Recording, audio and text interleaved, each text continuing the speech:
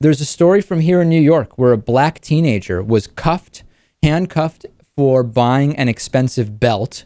This is the story in NBC New York. A 19 year old college student from Queens says he was handcuffed and locked in jail after buying a $350 designer belt at Barney's on Madison Avenue because he is a young black man. Trayon Christian told NBC4 New York that he saved up uh, from a part time job for weeks to buy a Ferragamo belt at Barney's. When he went to the store to buy it a few months ago, he says the checkout clerk asked to see his ID.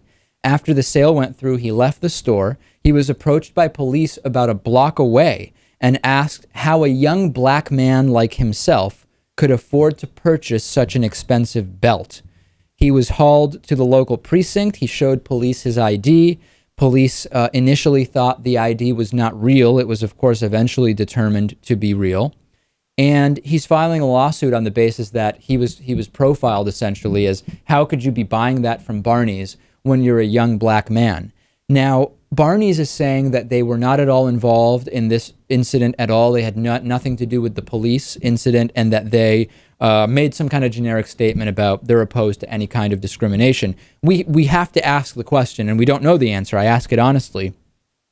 How did the cops just appear a block away if Barney's had nothing to do with it? There are people of all races all over Manhattan, and to approach him a block away out of everybody who's there, did they profile him because he had a bag from Barney's? or was Barney's somehow involved? I don't know the answer, but there's a lot of missing details here, aren't there, Lewis?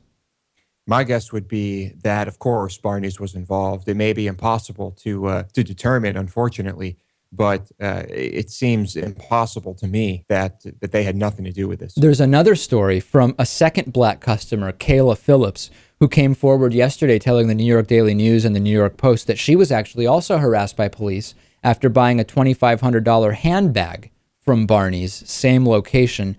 She's a nursing student from Brooklyn. She told the newspapers that four officers approached her in, inside a subway stop minutes after the purchase and asked her why she used a temporary debit card to buy the bag. She said, I just had opened a new bank account and this is the debit card that they gave me we have to look at this further. I'm not ready to cast aspersions or make general statements about Barney's or about any particular individuals or groups, but we have to look into this further because something is just not adding up, and it may be just a lack of information.